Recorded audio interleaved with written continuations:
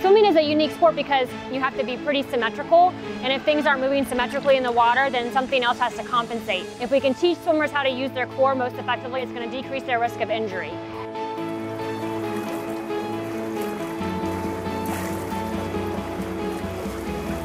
Ninety percent of swimmers have shoulder pain at one point or another, and we know that pain is your body's way of telling you that something is wrong. That's much better having a flat shoulders. We think it's really important to see swimmers in the water to make sure they're moving correctly. With freestyle and backstroke, we want your body to kind of move in a, like a long axis. And then in butterfly and breaststroke, you do more of an undulation motion. And again, you need your core muscles to do that. Keep your hands at your side. Really work on getting the endurance of those muscles built back up. Number one is that usually makes them faster. But also, because you're more efficient in the water, you're putting less strain through your shoulders.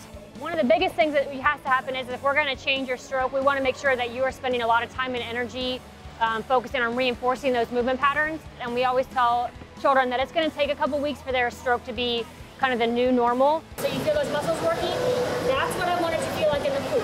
I think I want parents to know that they have to pay attention to how their son or daughter is swimming, especially teenagers, because their shoulder's hurting. They don't even tell anybody until it's been hurting so bad that they have to get out of practice and stop. So if you've had pain for a week or two, it's probably time to get somebody involved to evaluate the cause of that pain before it gets so bad that you lose the rest of your season.